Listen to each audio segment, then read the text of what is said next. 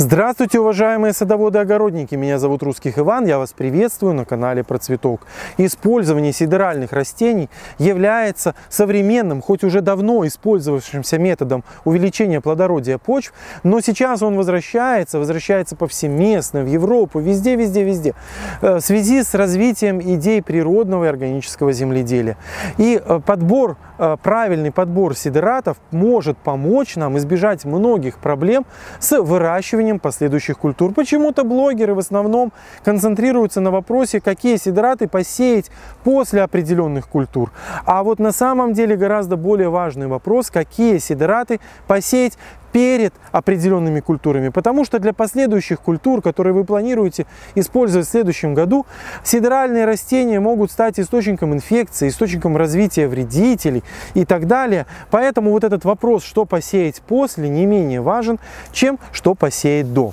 И как раз сегодня мы поговорим с вами о том, как сидераты могут помочь избавиться у картофеля от такой важной проблемы, как проволочник. Раз уж мы затронули тему проволочника, то сразу скажу э, какие-то основные моменты, которые помогают сдерживать его на наших участках. Первое, проволочник предпочитает слабокислую почву. Поэтому известкование почв под картофель на кислых почвах является одним из важных методов сдерживания и даже иногда полного уничтожения проволочника на участке. Но есть большая проблема с картофелем.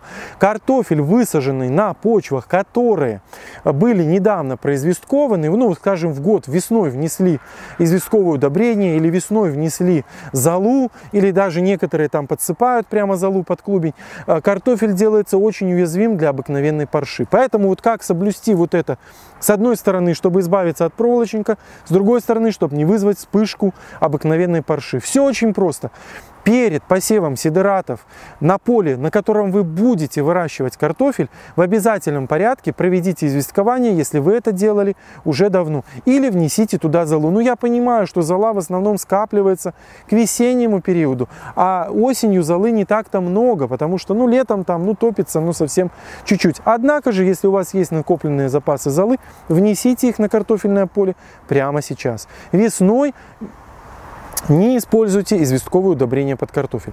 Второе, что необходимо сделать, чтобы избавиться раз и навсегда от проволочника, это обязательно освободить ваш участок от пырья. Пырей как магнитом притягивает э, проволочника на участок. Поэтому, если ваш участок запырьеван, примените те методы, которые у вас приняты в соответствии с вашей технологией ведения усадебного хозяйства против пырья, вы можете вооружиться вилами, выбрать этот пырей, вы можете вооружиться таким гербицидом, как фюзелат, обработать э, от пырья, вы можете этим фюзеладом работать даже по картофелю, по, по, по листьям картофеля, фюзелат убивает только злаковые э, растения, он не вредит картофелю, не вредит двудольным растениям. Поэтому вы можете его использовать, если вы, э, в принципе, признаете гербицидные препараты у себя на участке. Но вам непременно надо обязательно избавиться от пырника. Иначе вы от, от э, проволочника не избавитесь никогда. Кроме того, надо помнить, что проволочник в принципе очень любит разные злаковые культуры. Поэтому никогда не высаживайте картофель на поле, например, на котором росла вот в этом году кукуруза. В следующем году не планируйте там выращивать картофель, потому что у вас будет всегда проблема с проволочником. Э, никогда не подходя к теме сидератов, никогда не используйте перед картофелем сидераты наподобие овса или ржи. Это тоже будет очень сильно привлекать проволочника, будет способствовать его сохранению и размножению. Ну, э, сразу скажу, вот после картофеля как раз высаживать такие злаковые сидеральные растения, особенно в смеси, например, с горчицей или бобовыми растениями, то есть рожь, горчица, горох посеянные в ранние осенние сроки после уборки картофеля являются прекрасным сидратом. Но это после картофеля. В следующем году не будет там картофеля, будете высаживать что-то другое. А до картофеля вот эти злаковые э, сидраты не используйте. А, еще э, вот относительно остановлюсь э, Э, моментов использования различных э, препаратов живых, содержащих нематоды против проволочника, там немобакт и другие. В принципе, они все являются достаточно эффективными эффективными, хотя в домашних условиях эту нематоду хищную, которая нападает на проволочника, размножить невозможно. Однако эти э, препараты являются достаточно эффективными, их внесение в сроки, регламентированные на упаковке, являются вполне эффективными против проволочника. И теперь вернемся к нашей основной теме, как сидеральные растения, посеянные в осенний и весенний период перед посадкой картофеля могут помочь вам э, справиться с проволочником. Проволочник, поджирая корни растений, может ими же и отравиться.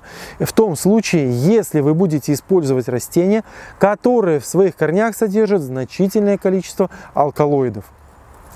Вот то, что сидерация были, была очень популярна э, даже в советские времена, свидетельствует то, что в Государственном реестре сортов Республики Беларусь был зарегистрирован даже сидеральный алкалоидный люпин синий, который содержал повышенное количество алкалоидов в своих корнях. Э, и в значительной степени способствовал уничтожению, в том числе проволочника, при посеве на сидеральные цели.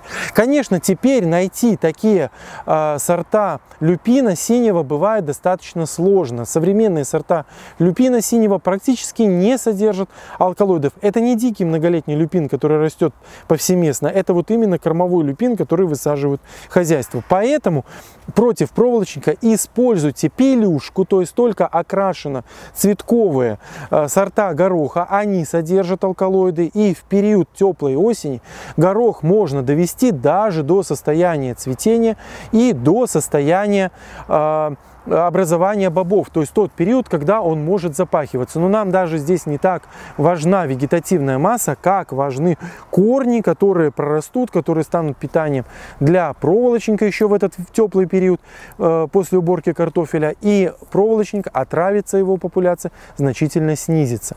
Э, также вы можете использовать э, такие растения, как крестоцветные сидеральные растения, горчица, редька масличная. Они также являются хорошим источником алкалоидов и также являются токсичными для проволочника. Совместные посевы горчицы с э, э, горохом, но обязательно пелюшка, обязательно с окрашенными цветками, окрашенными семенами, не с белыми цветками, э, будут идеальной парой для посадки после любой культуры перед посадкой картофеля.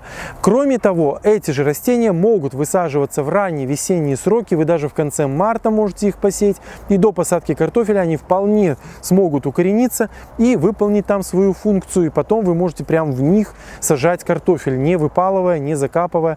Ну, можете закультивировать ради бога, но весной, весенний период, да и в осенний период тоже вы вполне можете прибавить к этим сидеральным растениям, к этой сидеральной смеси, еще и лен. Лен также содержит различные, в том числе цианогенные вещества, которые при поедании их проволочником преобразуются в токсичные вещества и убивают этого проволочника. Поэтому вот три сидеральных растения, которые помогут вам избавиться от проволочника и создадут идеальные условия для посадки картофеля на будущий год.